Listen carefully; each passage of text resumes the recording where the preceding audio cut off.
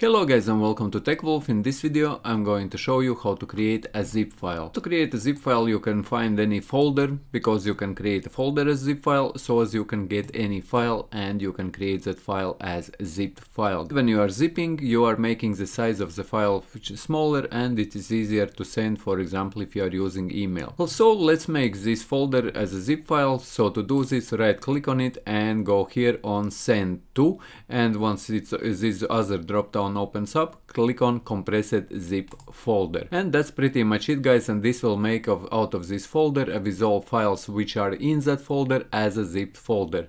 And you can find it here as you can see this is now zipped and this is this one and this one. That is just a name and if we would want to make this as a zip file, right click on this file and we can go to send to and we also compress it zip file and it will also compress it and make it a zip folder guys. As you can see here we have this zipped as well. So yes guys, this is how you can make a zip file and if you found this video useful, leave a like, share this video, subscribe to my channel if you are new and see you in the next one.